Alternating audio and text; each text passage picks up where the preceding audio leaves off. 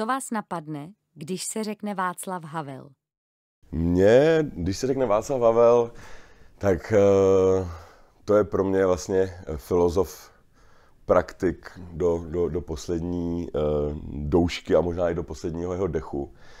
Člověk, který ve mně zbuzuje vlastně velký sympatie tím, co zvládnul v několika úrovních. Nejen, že tedy byl umělcem a spisovatelem, jehož básničky doporučuji každému. Jeho hry jsou možná uh, trošku složitě pochopitelné pro dnešního člověka, ale jeho antikódy jsou, jsou překrásný. Pak byl veliký, uh, co se týče dizentu.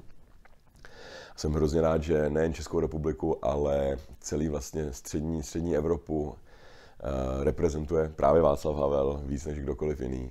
No a v neposlední řadě vynikající politik, byť tedy jaksi neměl na to ani průpravu, ani, ani uh, politické ambice, tak se z něj stal nezapomenutelný prezident, uh, um, který si myslím, že může hrdě navázat na Tomáše Garika Masaryka. Jaká je na něj vaše nejsilnější vzpomínka? Moje nejsilnější vzpomínka na Václava Havla je, když jsme se potkali poprvé a e, v Lánech. E, já jsem byl hrozně nervózní, pochopitelně, protože tenkrát bylo 23 let a myslel jsem si, že udělali chybu ve výběru mě. Doteďka jsem myslel, že měli vybrat někoho lepšího. Ale ta moje nervozita opadla v momentě, kdy mi podal ruku a něco zamumlal.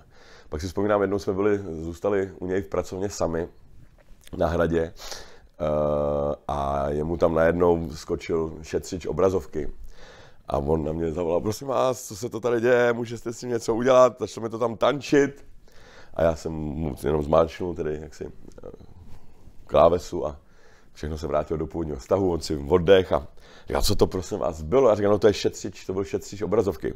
Jak to může být šetřič, když se, proč se to prostě nevypne, proč to tam takhle tančí, to mi tam za Vladimír Hanzo něco nainstaloval. Tak to byla taková moje, moje druhá vzpomínka. Kdybyste s ním dnes mohl mluvit, co byste mu řekl?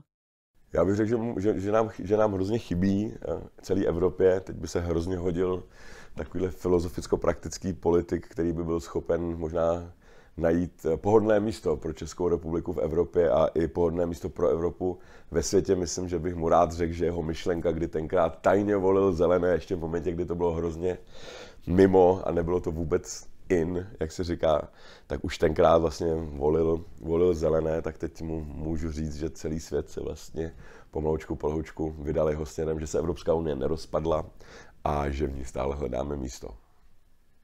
Domov náš.